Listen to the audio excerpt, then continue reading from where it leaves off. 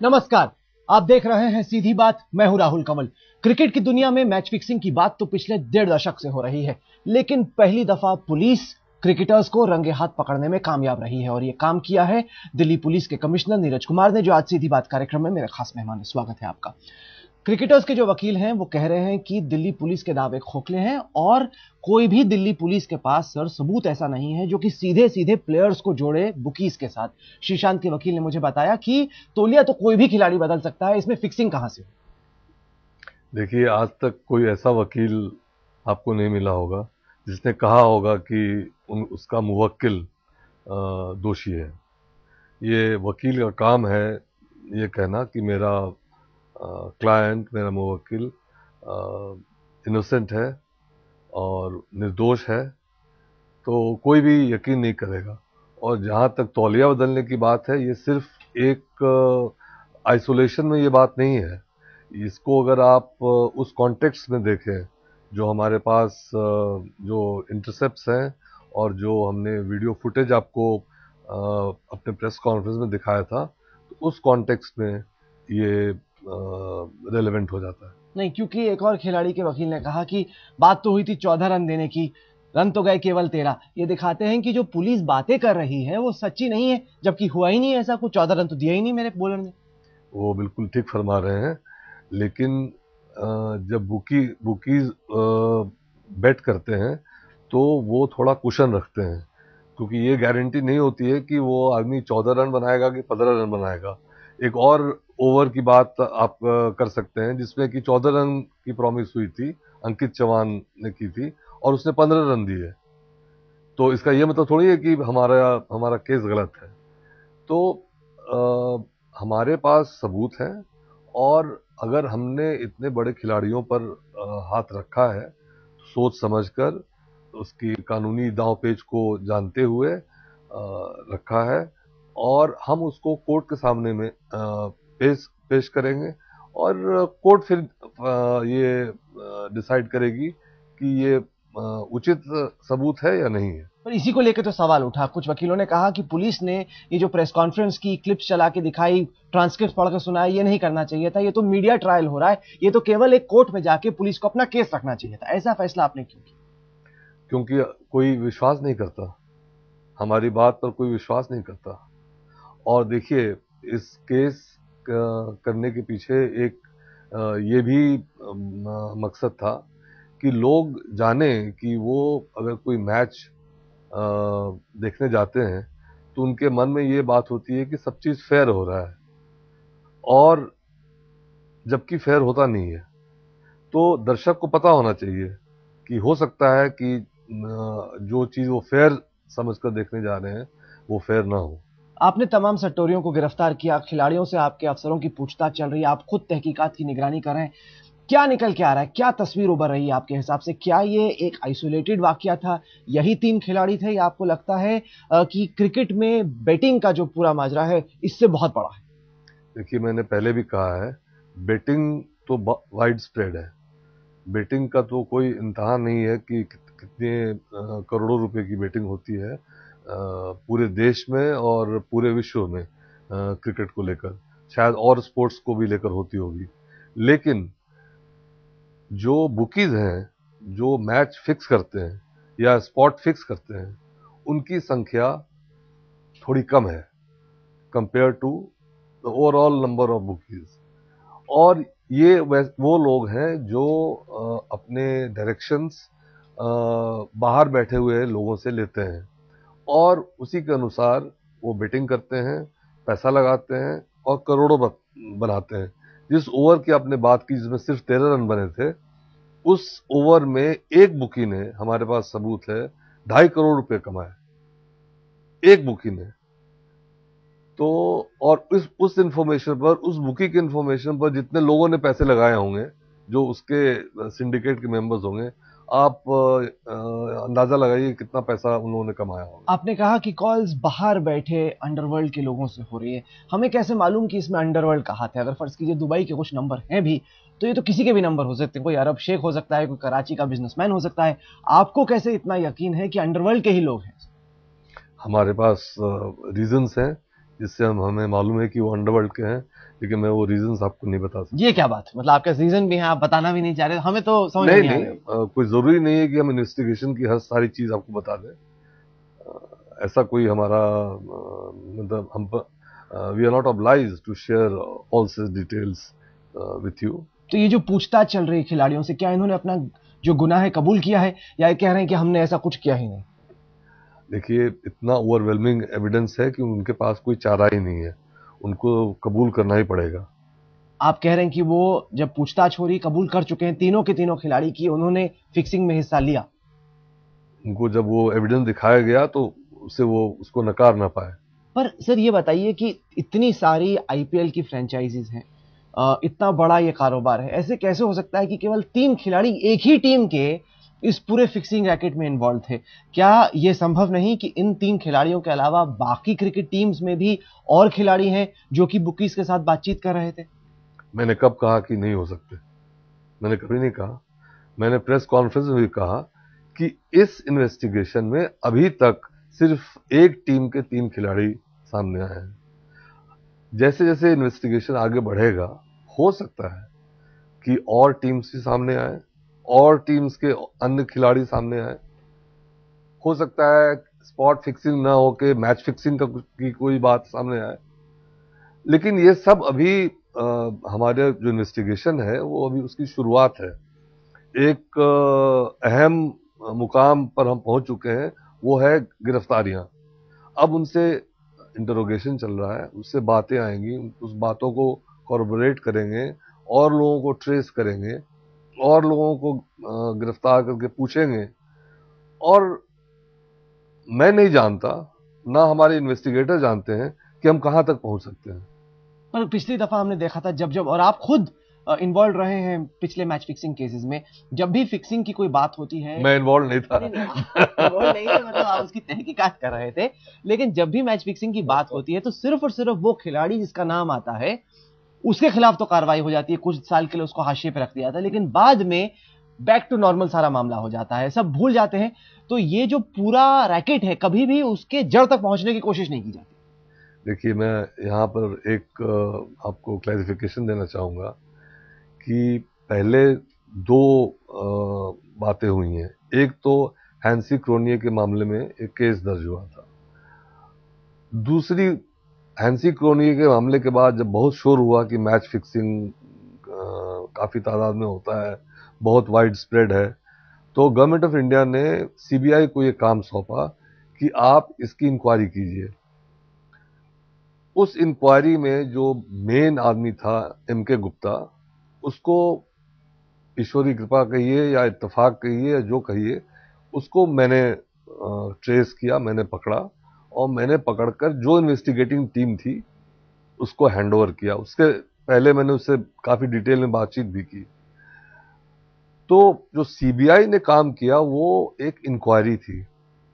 Investigation formal investigation नहीं था। कोई केस दर्ज नहीं हुआ था।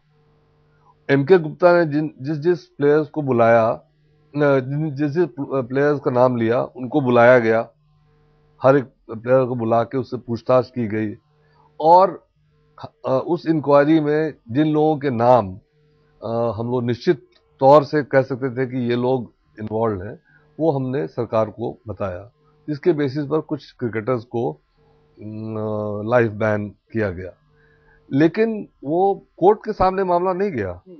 कोई कोई केस दर्ज नहीं हुआ। आज तक ने सटोरियों पर एक बड़ा स्टिंग ऑपरेशन किया। उन्होंने तफसील से बताया किस तरीके से कराची से दुबई से फ़ोन आते हैं, रेट सेट होता है। अब इस सबके बीच एक सवाल ये उठ रहा है, कमिश्नर साहब, कि क्या भारत में बेटिंग को कानूनी बना दिया जाना चाहिए? काफ़ी कोशिश हुई है इस, इसकी जड़ तक पहुँचने की, इसको रोकने की, रुकती नहीं है। क्या आप एक पुलिस ऑफिसर हैं? क्या आपको लगता है कि बेटिंग पर काबू पाया जा सकता है या इसे अब लीगलाइज कर देना चाहिए? ये देखिए मैं अपना व्यक्तिगत विचार आपको नहीं बताना चाहूँगा मेरा व्यक्तिगत विचार क्या है। बताइए। मैं एक पुलिस ऑफिसर हूँ। मेरा काम है इन्वेस्टिगेशन करना मेरा काम है अपनी फोर्स की अगुवाई करना और इस तरह के आ, की बातों पर टिप्पणी करना पर ये एक अहम सवाल है, क्योंकि कई लोग कहते हैं कि आप जितनी मर्ज़ी कोशिश कोशिश कर लीजिए। मैच फिक्सिंग पे स्पॉट फिक्सिंग पे तो काबू पाना चाहिए, लेकिन यूके में लीगल है, आप जाके बेट लगा सकते हैं। इसमें कुछ छिपाने वाली बात नहीं है और इतनी फिक्सिंग इतनी बेटिंग हो रही है कि इसको रोक नहीं सकते। आप चलिए, मैं एक सेकंड के लिए अगर आप कमिश्नर ना होते, एक लॉ इन्फोर्समेंट ऑफिसर होते, आप इस केस को इतने साल से ट्रैक करें, आपकी क्या राय होती? देखिए, ऐसा है, जब मैं नाइनटीन 92 से लेकर 1993 तक, तक डीसीपी क्राइम था तो मैंने एक लॉटरी स्कैम अनर्थ किया था। और हम लोगों के इन्वेस्टिगेशंस ने ये प्रूव किया था कि लॉटरी 100 परसेंट बोगस होता है। और उस पर हमने बाकायदा रिसर्च करके एक बुकलेट बनाया गया बनाया था।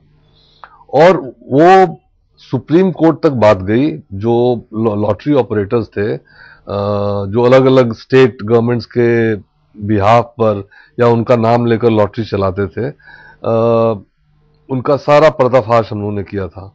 और ये उन्होंने चैलेंज किया हमारे इन्वेस्टिगेशन को।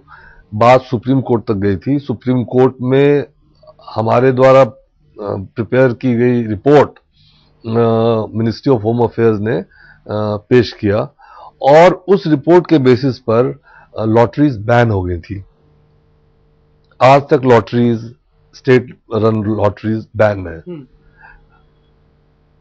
अब हम जब ये इन्वेस्टिगेशन पूरा कर लेंगे, मुझे पूरी उम्मीद है कि सरकार हमसे एक डिटेल रिपोर्ट मांगेगी हम अपना पूरा डिटेल रिपोर्ट देंगे और उसके बाद अगर वो डिसाइड करती है कि इसको लीगलाइज कर देना चाहिए या लीगलाइज करने में अच्छा है सरकार को रेवेन्यू भी आएगा तो ये तो सरकार का फैसला होगा। नहीं पर आपकी राय भी उसमें एक अहम राय होगी कि क्या आपके हिसाब से बेटिंग पर काबू पाने की कोशिश की जानी चाहिए या काबू पाया नहीं जा सकता इस वजह से इसको होने दे और मैच फिक्सिंग पे फोकस हो। मैं तो कभी नहीं कहूँगा कि इसको होने देना चाहिए। मैं कभी नहीं कहूँगा। एक एज ए पुलिस ऑफिसर मैं कभी ये नहीं कहूँगा कि बेटिंग को चलना चाहिए। उससे बहुत सारे चीज़ें गलत चीज़ें होती हैं। लोगों के परिवार डूब जाते हैं लोग बैंक हो जाते हैं।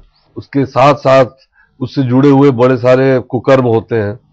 तो मैं तो बिल्कुल से खिलाफ हूँ और हर पुलिस ऑफिसर से खिलाफ तो होगा। लालच का समाधान क्या है? क्योंकि अभी निकल के आ रहा है कि ये जो बुकीज हैं क्रिकेटर्स को लड़कियाँ सप्लाई करते थे स्कॉट्स दिलाते थे जब ये तीनों खिलाड़ी गिरफ़्तार हुए तो उनके साथ लड़कियाँ थी। अब इस सब चीज़ों का आपके हिसाब से समाधान क्या है? क्रिकेट के आप भी बहुत शौकीन हैं। क्या हो सकता है सोल्यूशन इसका? देखिए जहाँ तक लड़कियों का सवाल है ये तो किसी भी प्लेयर की निजी लाइफ से जुड़ा हुआ मसला है। वो उसके बारे में मैं नहीं कहना चाहूँगा। अगर आप लीगलाइज भी कर देंगे बेटिंग तब भी वो चल सकता है। आ, लेकिन ये ज़रूर है कि हम लोग इन्वेस्टिगेशन के बाद एक डिटेल रिपोर्ट सरकार को देंगे। सिर्फ़ लड़कियाँ ही नहीं है। ड्रग्स हैं पार्टीज़ हैं फिक्सिंग है। मतलब तमाम तरह के कुकर्म आईपीएल के तहत हो रहे हैं। अब सवाल ये उठता है कि अगर क्रिकेट की दुनिया को साफ़ करना हो आपके हिसाब से क्या किया जाना चाहिए? नहीं ड्रग्स की बात हमारे इन्वेस्टिगेशन में नहीं पहले आई। थी। खिलाड़ी पकड़े गए थे मुंबई पुलिस ने छापे मारे थे। लेकिन मेरे इन्वेस्टिगेशन में नहीं आई है इसलिए मैं उस पर बात नहीं करूँगा। लेकिन इसका समाधान क्या है ये कहना बड़ा मुश्किल है। समाधान है आ, हमेशा इसकी आ, सिस्टम को पर्ज करना सिस्टम को प्यूरिफाई करना जो इस रॉटन एग्ज़ाम को आइडेंटिफाई करना उनको एलिमिनेट करना।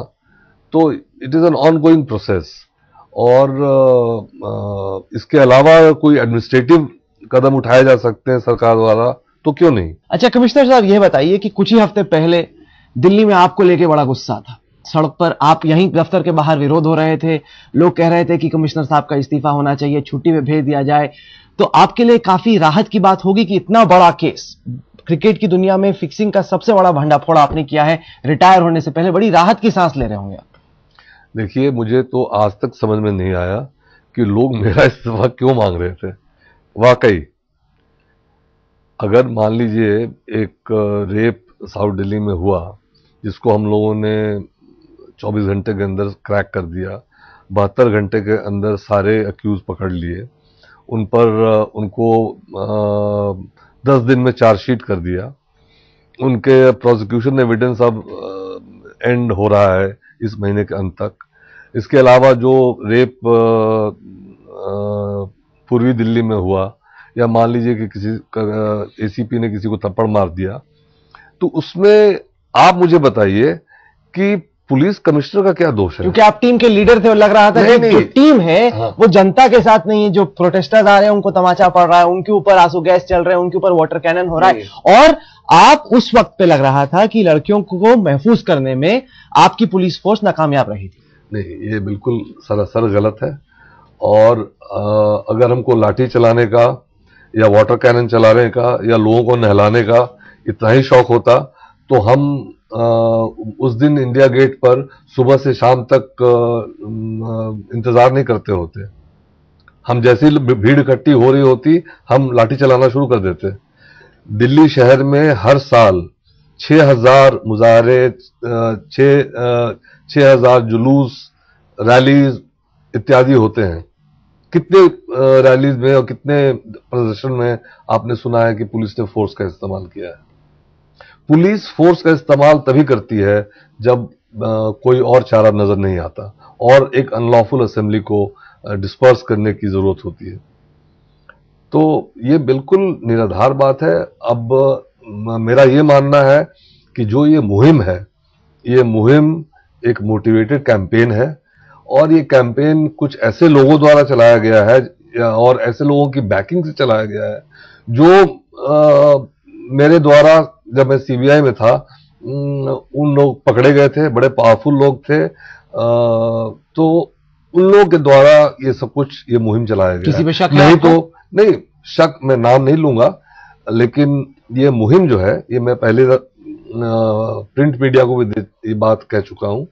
ये एक मुहिम था it was a motivated campaign नहीं पर जनता ये मुहिम नहीं समझती है। जनता आंकड़े समझती है और आंकड़े ये बताते हैं कि क्राइम ग्राफ दिल्ली में लगातार बढ़ता चला जा रहा है और बहुत स्पीड से बढ़ रहा है और बाकी शहरों की तुलना में लोगों को लग रहा है कि दिल्ली अब भारत की क्राइम राजधानी बन गई। देखिए जब हम क्राइम के रजिस्टर्ड क्राइम के फिगर्स को रोकना पुलिस के लिए सबसे आसान काम है। सबसे आसान काम है। आप कोई कंप्लेन लेके आए आप उसको कुछ बात कह के वहाँ से टाल दीजिए। अरे यार, तुम फंस जाओगे, तुमको बार बार आना पड़ेगा, कोर्ट कचहरी है, ये है, वो है।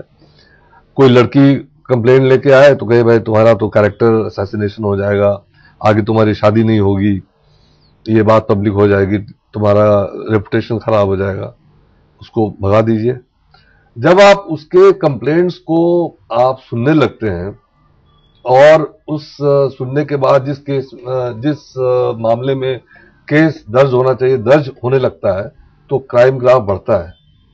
अब जब क्राइम ग्राफ बढ़ रहा है तो आप लोग इन आंकड़ों को देख रहे हैं। और जब अ, लोग टाल रहे थे जब पुलिस रजिस्टर नहीं कर रही थी तब आप कहते थे साहब पुलिस तो कैसी रजिस्टर नहीं करती? पिछले कुछ महीनों में मुझे बताते हुए बहुत गर्व हो रहा है कि अ, ये शिकायत करीब करीब नील हो गई है कि मैं थाने गया और मेरा केस दर्ज नहीं हुआ। ये एक बहुत बड़ी बात है। मैं परवाह नहीं करता कि जो रजिस्टर क्राइम के फिगर्स हैं, वो इस तरह से ऊँचे उठ रहे हैं। मैंने बार बार कहा है कि पुलिस का सबसे fundamental reform reform number one जिसके, जिसमें किसी की जेब से एक पैसा भी खर्च नहीं होगा, वो ये है कि पुलिस की परफॉर्मेंस का मापदंड ये आंकड़े नहीं होने चाहिए। हम्म, क्योंकि आंकड़ों से खिलवाड़ करना बहुत ही आसान है। पुलिस की परफॉर्मेंस का का मापदंड होना चाहिए। केसेस कितने सॉल्व हो रहे हैं कितने लोग पकड़े जा रहे हैं और सेटिस्फैक्शन लेवल कंप्लेनेंट्स में क्या है? चलिए कंप्लेनेंट्स में सेटिस्फैक्शन लेवल और साथ के साथ लड़कियाँ लड़के जब सड़क पर निकलते हैं वो महफूज फील करते हैं फील करें सबसे अहम बात यह है। जी। बहरहाल ये दिल्ली पुलिस की बड़ी कामयाबी है और इसके लिए पूरे जो व्यूअर्स हैं उनकी तरफ़ से शाबाश। और आपने ये वादा भी किया है कि ये कहानी यहाँ खत्म नहीं होगी। आप तहकीकात करते रहेंगे और हो सकता है कि और बड़े खिलाड़ी आ, सामने आए। हो सकता है कि फिक्सिंग का जो पूरा रैकेट है इससे भी बहुत बड़ा हो। तहकीकात जड़ तक जानी चाहिए। ये बहुत अहम है कमिश्नर साहब। आपने हमें वक्त दिया इसके लिए बहुत बहुत शुक्रिया।